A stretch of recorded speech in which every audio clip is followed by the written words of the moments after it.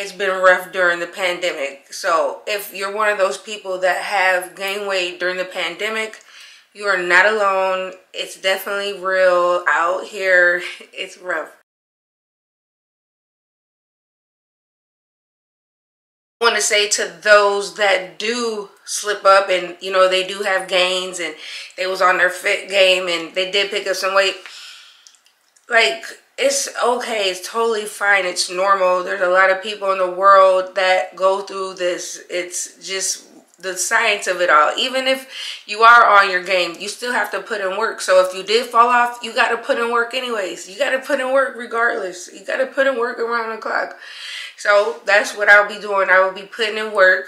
And that's the first step that you need to do is you need to realize and come to terms with your current state of your living, how you're living, your your lifestyle. You got to own it and check it and redirect it. It's just that simple. So you reset and get back and rebound and you know that's just how you get down that's how we get down at Motiweightion that's what Motiweightion is motivation to you know, keep the weight off to stay healthy. It's not to be a certain size on the scale. You know, of course, when I gain 100 pounds, I'm like, yes, I want to see that number go down. I struggle with adjusting to various meds and issues surrounding my weight. So, I mean, I've been down this avenue once or twice. And that's just what the cards that I was dealt. My eating is on point. Like, it's not like 100, but I'm not like a bad eater. It's rough.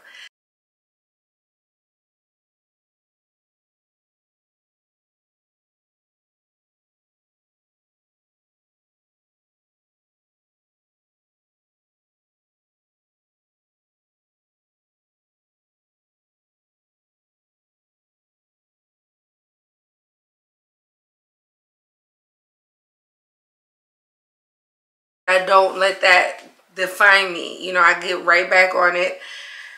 I haven't been as active on Instagram. Yes, I am guilty of that. So um, I'll, I'll let you know how I'm going to be documenting my progress. But I've already went to the grocery store. I already pre-planned my meals.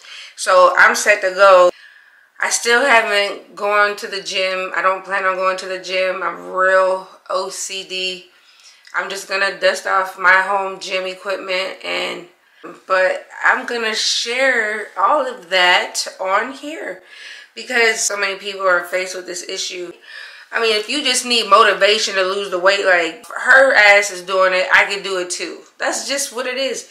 If you need that extra step, like that extra pep in your step, I need it sometimes. I'd be like, dog, what? Like that's why I sign up for different races and challenges to keep me motivated, feeling healthier. Like I said, it's not even about you know a certain number on the scale for me per se. I can't even pull up these pants that I got on. That's a daggone shame. I can't. These pants are stretchies. I don't know what, and I can't even pull them up. That is a major problem. That is a problem. A problem and I have that it's just unacceptable. It, it ends today. It ends today. It ends today. Sometimes I slip back into old patterns too. You just gotta get back on track. You gotta redirect those bad habits with it, you know, make them up with good habits. That's just that simple.